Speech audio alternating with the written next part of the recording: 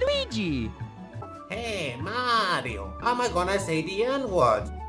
You can't say the N-word, that's racist. Nee.